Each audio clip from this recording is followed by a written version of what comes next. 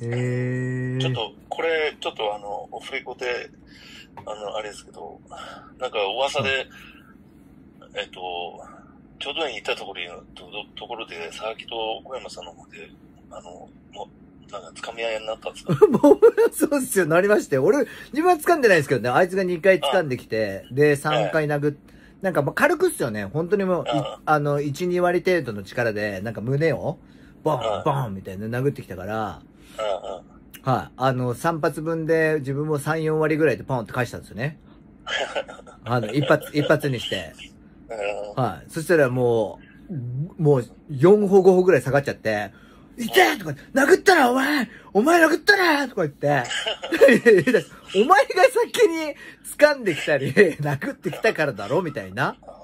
でもそれをエイセン君が描写して、なんか、テイクオフダウンとか言って、あの、チャイニーズトップマフィアテイクオフダウンとか言って、英語で説明してくれてて、うんあもう、あもうその、辺面白いなと思って、はいあの、うん。まあ、佐々木も、佐々木君も昔強かったよ。あ、そうなんですね。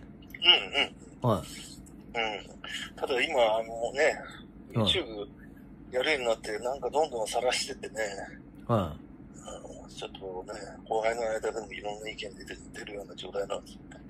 い。はい、はい、はい。で、結構割れてる、割れてますもんね。あの、八塚二郎とか、そうだね。はい、横浜で、あの、クラブやって、去年の暮れに。で、こっちは大田区とか、あの、この辺の、城南の連中とかみんな行って、うんはあっちはね、あの、八塚とかね、やっぱりはい、俺の方の方に、まあ、あの、ちょっと敬意持ってるんだね。い。はい、はい、はい。で、それ、それ、聞聞いてましたよ。うんうん、そうです。あと、あとなんか、リ、リ、リーさん？うんうんうん。はい亡く。なられてね。はい。なんか、そそれ、あの、一昨日から聞いたんですよ。ああ、本当。はい。はい。だから、その、なんか初代って言うと、その人間が名前出てきますよね。うん、うん。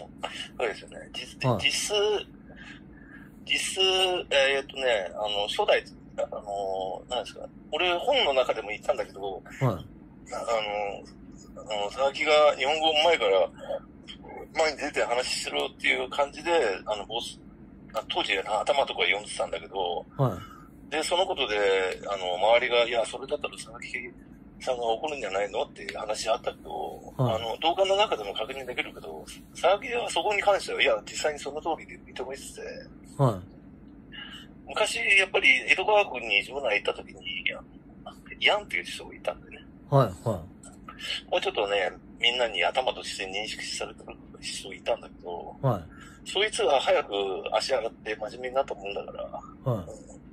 その後、あの、その佐々木が頭っていうことで、いろいろ、あの、交渉とか、その、暴走時代ね。はい。だけど、どうだろうね。本人、ほら、あの、陸上部が大好きで、うん、あの、そう、そう、そう創設メンバーにね、俺が8人で、8人でいて、佐々木が7人でいてるけど、まあ、大した差はないけど、はい。佐々木は、あの、あの、初期のメンバーは間違いないんだよね。はい。はい。ただ、本人陸上部やりたいから、なんか、真面目ちゃんになったり、学校行ったりして、あはの、ドラゴンと合流する時間あんまりなかったはずだよね。